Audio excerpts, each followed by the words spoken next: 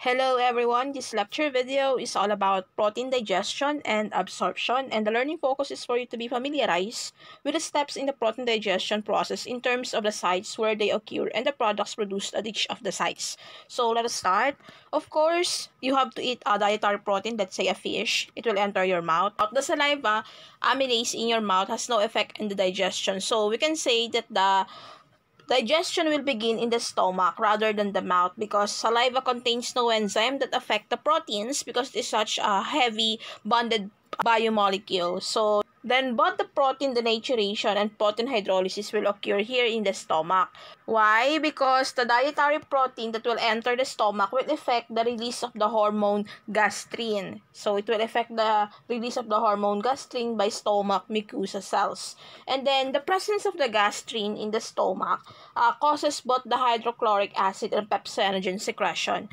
The hydrochloric acid here has three major functions. First, its antiseptic properties kills most of the bacteria in the food and in the stomach. And second, the denaturing action of this one unwinds the globular protein, making peptide bonds more accessible to digestive system. When we say unwinds, because the uh, proteins is bonded, they are bonded in they twist and twist and twist. So, what will happen here, it breaks the bond. It denatures the bond, but not totally. Uh, it softens the bond. Okay. And then next, the third property, it activates the pepsinogen. So, as you will remember, it will trigger, the presence of gastrin will trigger the secretion of pepsinogen. This one is in inactive form. So, the presence of gastrin triggers this one to be activated. And the active form of this one is pepsin. The pepsin affects the hydrolysis of approximately 10% of peptide bonds, producing variety of polypeptides. So this one triggers the breakage of the bonds through the addition of water. And when we say and when we say variety of polypeptide, so let's say this is your protein food.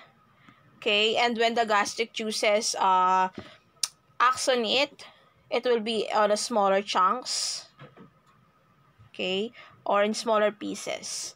There are some people who are unable to synthesize enough gastric hydrochloric acid and these individuals must ingest capsules of diluted hydrochloric acid with every meal. So, if you are familiar with muriatic acid that you can buy in the store, this is the same chemical formula with that. But here, eh, as the person will intake that, they are being uh, mixed with water in capsules and in smaller amount to aid the digestion of the protein.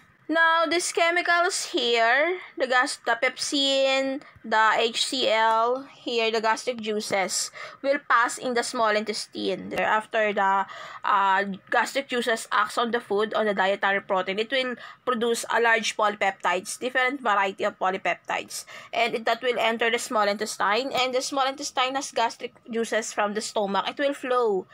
The gastric juices will flow into the small intestine. And when that flow, the acids will trigger the secretion of the enzyme secretin.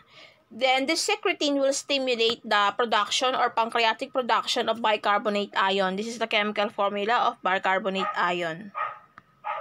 Now, this bicarbonate ion here, uh, it neutralizes gastric hydrochloric acid. So, in the small intestine, the pH level there is kind of basic. It's a basic environment and not acidic. The stomach is acidic, is an acidic environment, while in the small intestine, it is a basic environment. So, what will happen in the neutralization of hydrochloric acid after the bicarbonate ion neutralize that one, there will be a basic environment. And then, this basic environment, when we say basic, the potential hydrogen or pH value ranges from 7.0 to 8.0. So that is what we mean by basic environment. And the pancreatic enzymes there will be produced due to the basic environment. It will trigger the release of the pancreatic enzymes trypsin, chymotrypsin, carboxypeptidase, and aminopeptidase.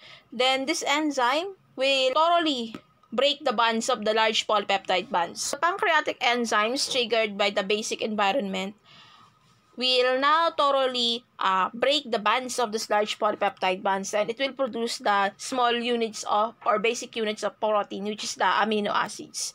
Then these amino acids will enter the intestinal lining through the blood capillaries then it will flow into the bloodstream. already. So that is how that is being absorbed in the bloodstream through the intestinal lining. So that is all for protein, digestion, and absorption.